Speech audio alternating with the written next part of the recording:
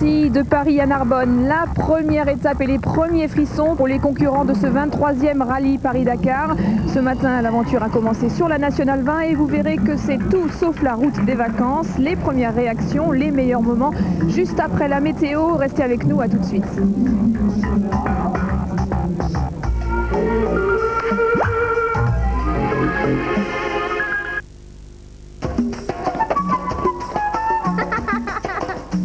Petits explorateurs de la vie sont en plein développement, il leur faut le meilleur. Le lait de croissance Gigose a tout ce qu'il faut dedans. Plus de fer, plus d'acides gras essentiels. Gigose, chaque jour de la vie d'un petit est un grand moment.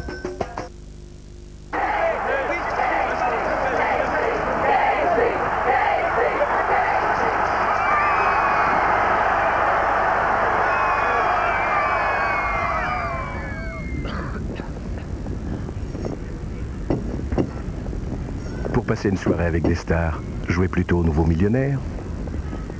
Nouveau Millionnaire, gagnez jusqu'à 1 million plus une soirée avec des stars.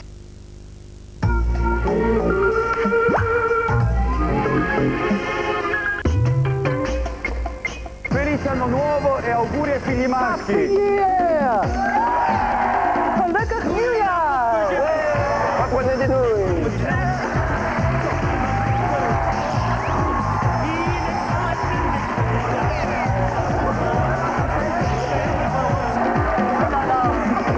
Pour la première soirée du nouveau millénaire, l'Union fait la fête avec Christine Bravo, ses chroniqueurs et tous ses invités. Ce soir à 20h50 sur France 2.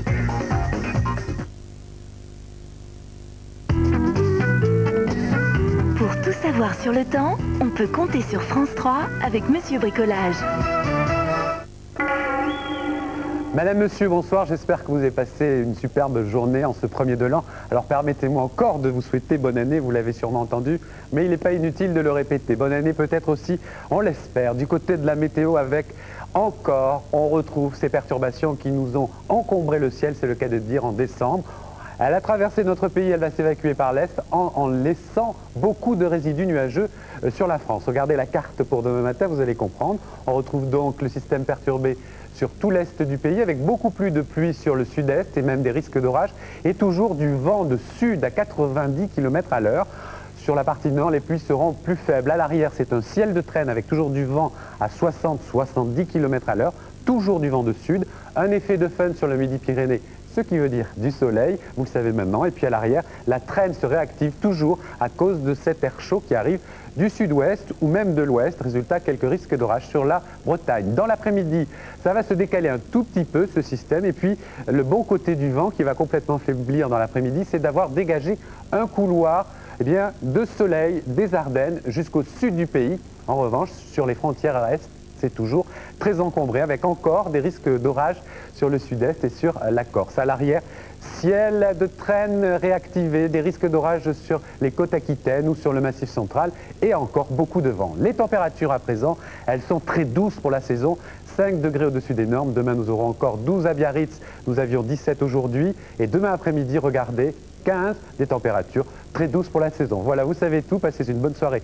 Dans un instant, tout le sport. À bientôt.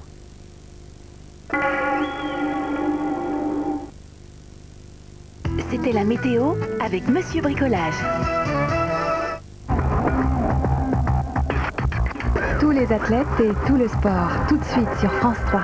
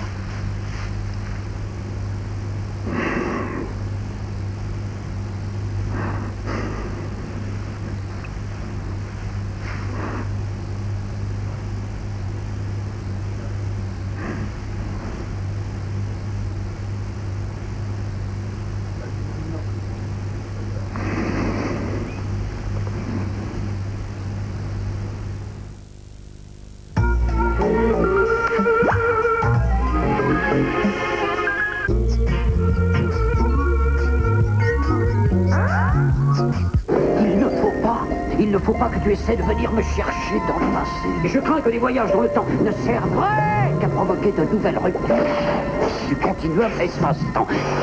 J'ai peut-être faussé le cours de l'histoire. Michael J. Fox et le Doc ont repris leurs funestes expériences. Comme c'est la dernière époque de la saga, on leur laisse carte blanche.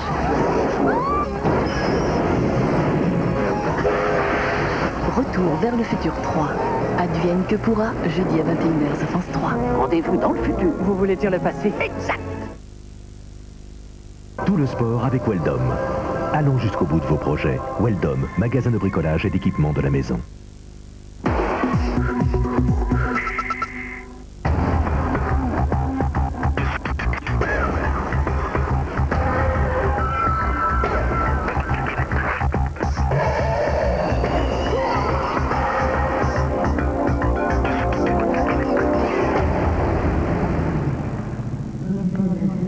Bonsoir, de Paris à Dakar, il y a 10 739 km, 20 jours de course et du désert à volonté. Mais en attendant, l'Afrique réveille difficile pour les pilotes. Vous allez voir que la météo ne leur a vraiment pas fait de cadeau ce matin. Là, d'ailleurs, les pilotes, ils arrivent en ce moment. En attendant de revenir sur cette première étape, on va découvrir les autres nouvelles de la planète sport avec des oiseaux sur des skis, autrement dit la tournée des quatre tremplins. Et ça se passait à Garmisch-Partenkirchen. Commentaire Olivier Schwartz, Florence Akuka. Un nouvel an japonais en Bavière. Noriaki Kasai a fêté le millénaire par une victoire à Garmisch-Partenkirchen lors de la deuxième étape de la tournée des quatre tremplins. C'est son premier succès en Coupe du Monde. La surprise est venue du russe Dimitri Vassiliev qui n'avait jamais fait mieux qu'une huitième place et termine deuxième cet après-midi. Adam Malish, lui, n'a que 23 ans, mais déjà de longues minutes d'expérience dans les airs. Le Polonais a battu le record du tremplin avec un saut à 129 mètres 50, mais une réception imparfaite le prive du succès. Il est troisième. Martin Schmidt est le grand perdant de cette Saint-Sylvestre. L'Allemand était pourtant attendu par tout un peuple. Il prend une décevante huitième place après son succès à Oberstdorf. Le premier et seul Français, Nicolas Dessoum, se classe 28e. Avec près de 24 heures de retard sur ses concurrents de The Race, Tony Bullimore a quitté à son tour le port de Barcelone. Hier soir, il avait pu effectuer les 150 000 nécessaires à sa qualification. C'est à 10h30 ce matin qu'il a coupé la ligne de départ. Un retard qu'il faudra combler rapidement car ses cinq adversaires ne sont plus qu'à 200 000 de Gibraltar. C'est Cam Lewis sur Team Adventure qui est en tête. L'Américain précède Club Med de 12 000. Un bateau à bord duquel s'est produit un premier incident de course. Le co-skipper Frank Trophy s'est ouvert l'arcade sourcilière, bilan une belle frayeur et trois points de suture. PlayStation occupe la troisième place à 3000, juste derrière Club Med. Loïc Perron est quatrième, Roman Pachke cinquième à 160 000 après un mauvais choix tactique. Les bateaux de tête sont attendus à Gibraltar demain vers midi. Le vent et la pluie ont poussé les skippers solitaires du vent des globes dans le troisième millénaire. Hélène MacArthur sur Kingfisher a été la troisième à atteindre 2001 au large de la Nouvelle-Zélande. La nuit c'était vraiment dur, euh, j'ai senti, j'ai senti pas trop très bien, j'étais un peu stressée. Euh, j'ai pas fait mes meilleures 24 heures. 36 000 devant elle, Roland Jourdain sur Cille se maintient en deuxième position, derrière le leader Michel Desjoyaux sur PRB. Des centaines de sportifs réunis, c'est l'environnement choisi par Alain Mimoun pour fêter ses 80 ans. Il avait participé à la première corrida de houille en 72. Son retour aujourd'hui pour la 29e, c'est un peu la fête du sport pour tous. Chez les ténors, Khalidska absent, le Kenyan Kipketer était le favori logique. Le vice-champion du monde de cross n'a pas déçu, il s'est imposé très largement devant le Sud-Africain Ramallah. Serbouti, premier français et huitième. Chez les dames, succès de Rakia Marawi, première française victorieuse durant le troisième millénaire.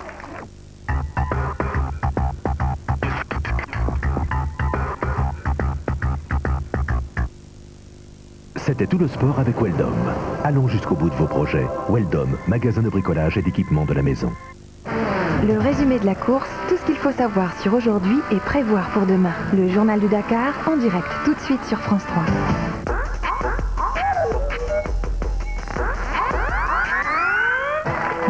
Questions sont les nôtres. Question science dont a la réponse. Que ne ferait-on pas pour satisfaire votre curiosité? Et c'est ce qui explique. Expérience de mort imminente, prévision des tremblements de terre, faucons, anti-crash aérien, virus, les plus dangereux du monde. C'est extraordinaire. Merci Sylvain. Extraordinaire. Plus quelques images de rêve pour bien commencer l'année. Nathalie Simon, Sylvain Augier, pourquoi, comment, demain à 21h sur France 3. Ah oui, c'est comme ça. Bah oui. Le Paris-Dakar sur France 3 avec Total et Euromaster, centre d'entretien auto.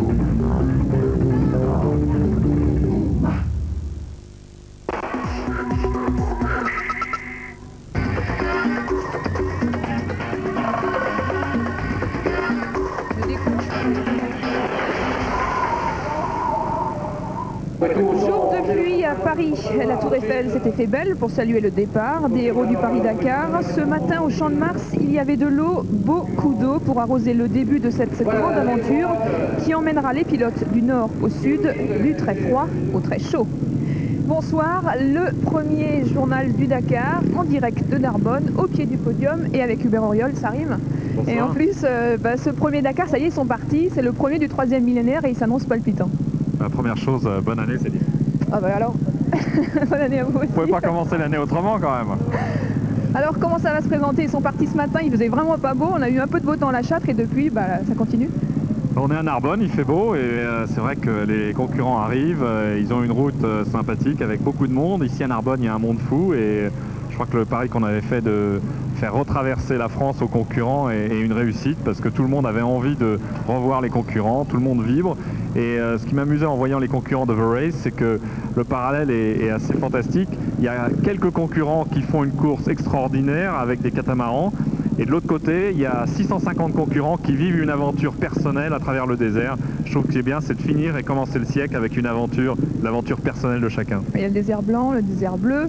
En attendant, on va revivre ce qui s'est passé aujourd'hui sur la première spéciale de ce Dakar. Elle faisait 6 km, ça se passait à la Châtre. Il n'y avait pas beaucoup de risques qui ont été pris, mais il y a une seule certitude, on était bien le 1er janvier 2001. Commentaire Jean-Philippe.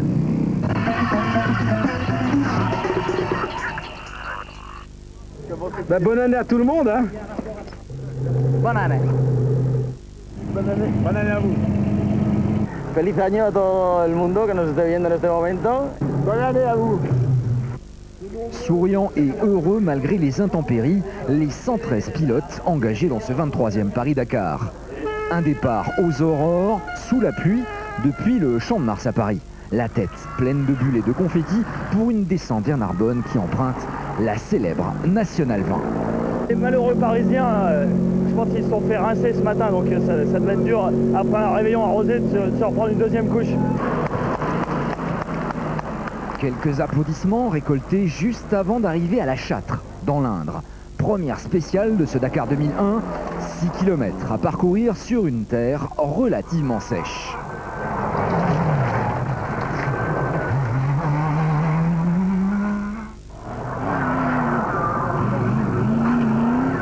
Quelques jolis sauts, impossible de créer de véritables écarts sur un parcours aussi peu sélectif. L'important pour les pilotes, c'est de ne pas abîmer bêtement les véhicules. Sur les bords de la piste, quelques courageux spectateurs digèrent leur réveillon. Shinozuka, sur sa Mitsubishi, reste prudent, même s'il signe au passage l'une des plus belles envolées de la journée. Vainqueur du jour, l'Espagnol José Maria Servia, sur le buggy à moteur Renault. Il devance son coéquipier et double vainqueur de l'épreuve, Jean-Louis Schlesser, de 2 secondes.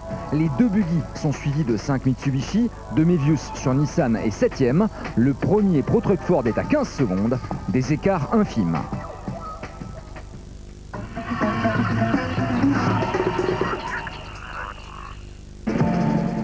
Ce matin, 5h, il pleut au Trocadéro, à peine plus de zéro, la météo fait défaut, alors les motards sont partis pour s'engourdir les jambes et lutter du mieux possible contre le froid. C'est la difficulté du jour, 910 km de liaison en direction de Narbonne, agrémentée d'une mini spéciale à la Châtre. 6 km de circuit, première mise en température et surtout première opposition entre les favoris BMW et KTM pour les constructeurs, pilotés respectivement par Juan Roma et Richard Sankt. Romain l'Espagnol n'a pas été handicapé par la lourdeur de son bicylindre 900. Il décroche le temps scratch, chaud dans son pilotage. Il n'a pas eu froid pendant la liaison grâce à son système embarqué de chauffage. Oh, c'est parfait, hein. c'est une chose incroyable. À l'arrivée ici à la Châtre, j'ai de chaleur. Tu sais, j'ai beaucoup de chaleur, je dois mettre euh, moins euh, température parce que j'ai beaucoup de chaleur. Moi, était froid dans le physique, un peu aussi dans l'esprit, et c'est mieux, tranquille, tranquillement. Il a roulé l'esprit serein sans faire pour autant d'étincelles. Fabrizio Meoni se classe 11e. L'Italien n'a pas un profil d'enduriste et n'est pas rapide sur les spéciales sinueuses. C'est tout le contraire pour Richard Cinct, mais tout le monde l'attend au tournant avec son monocylindre 660 cm3. Alors, sans se faire moucher, il termine quatrième à 2 secondes dans le wagon des hommes de tête, tout en profitant de l'environnement. Ça fait plaisir de voir autant de monde euh, sur, les bords des routes et sur la spéciale nous, encourager avant de partir en Afrique. C'est, euh, c'est, je dirais, quelque part un peu normal qu'il faut quand même essayer de donner le maximum sur une spéciale comme ça, Euh, enfin, cherchant la limite entre le maximum et la sécurité pour faire plaisir aux spectateurs et c'est ce que j'ai essayé de faire. Au classement, KTM place 3 motos dans les 5 premiers. L'Italien Giovanni Sala, multiple champion du monde d'enduro et premier ex avec Romain. Ils ont couvert les 6 km en 3 minutes 37 secondes. C'est l'illustration parfaite du duel annoncé entre la firme autrichienne et BMW.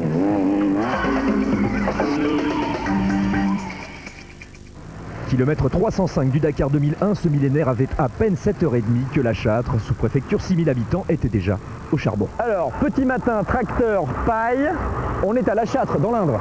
Et si la première spéciale du Dakar se déroule à La Châtre, ben c'est pas un hasard, c'est parce que La Châtre a un vrai passé avec l'automobile. On s'en souvient peut-être pas tout de suite, mais là, ça va vous rafraîchir la mémoire. Attends, pour le moment, il faut jouer le, problème des voitures ouvreuses.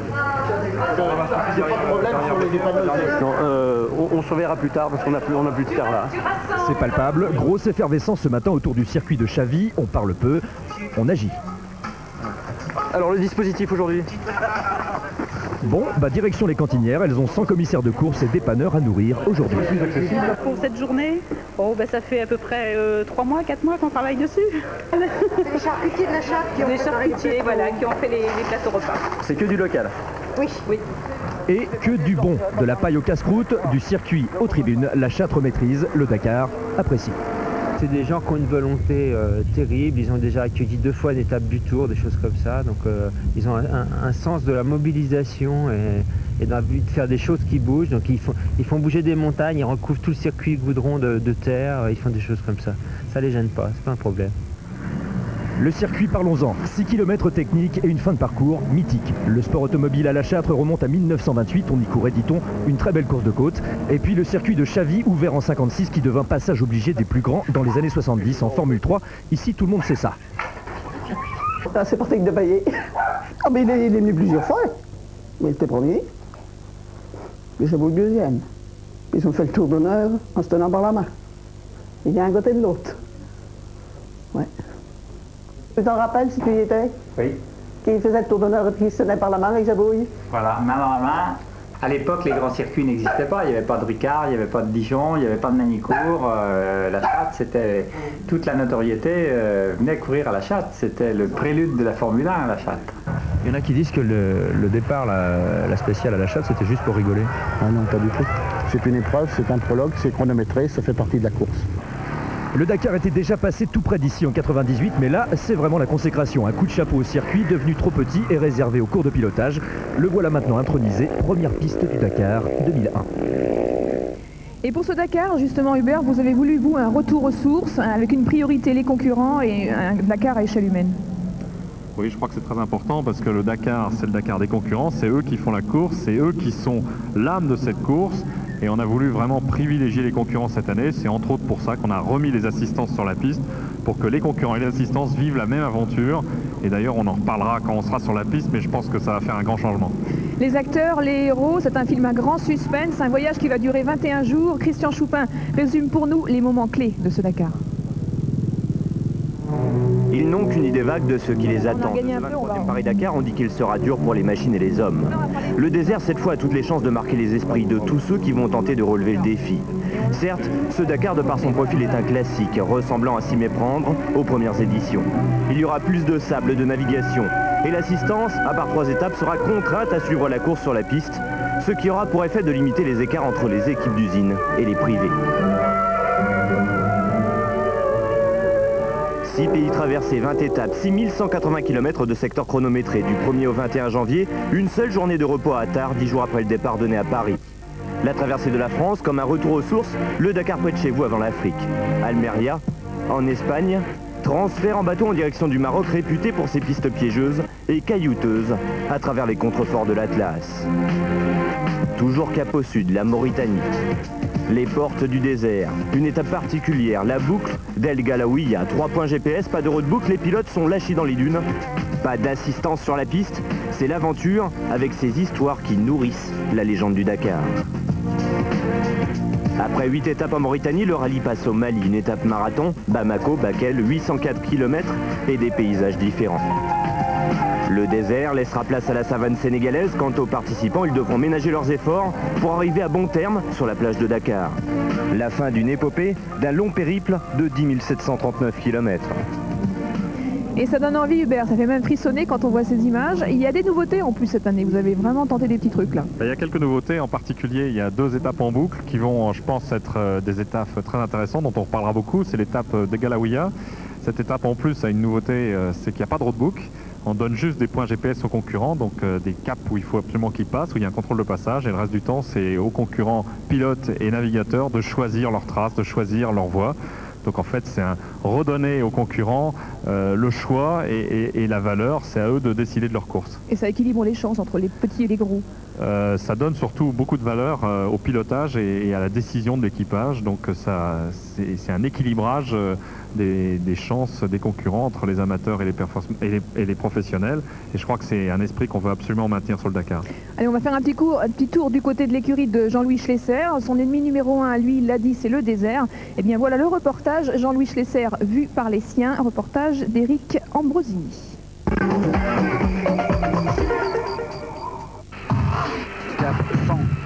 Voilà le seul homme capable de maîtriser les dunes en se grattant le dos. C'est que la soif de victoire le démange, Jean-Louis, et ces derniers temps, s'embarquer avec lui, c'est s'embarquer assurément pour la victoire.